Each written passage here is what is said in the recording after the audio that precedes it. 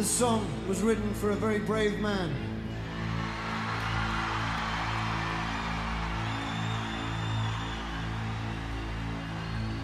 A man who preached non-violence in a state which has racism enshrined in its constitution. A man who was imprisoned, tortured, and killed in a jail in South Africa. This is for Stephen Biko.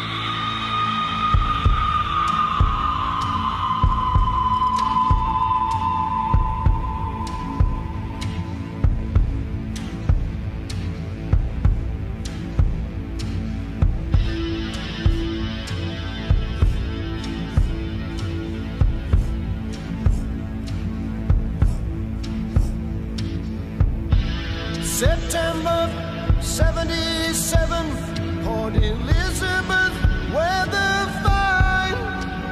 It was business as usual in police room 619. Oh,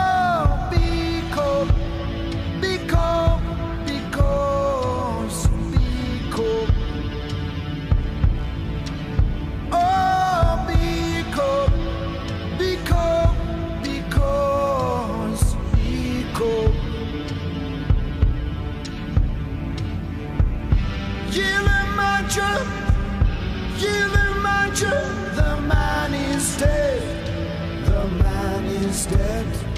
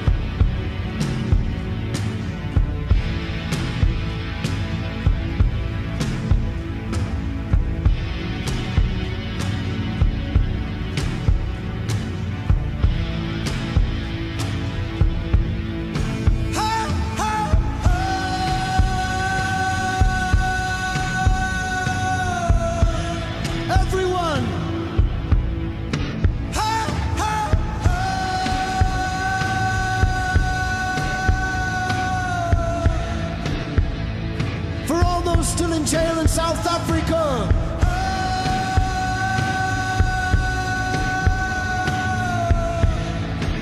For all those still being tortured.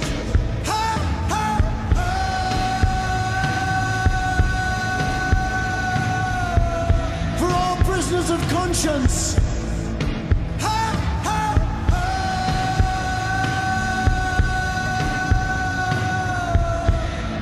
For Stephen Biko.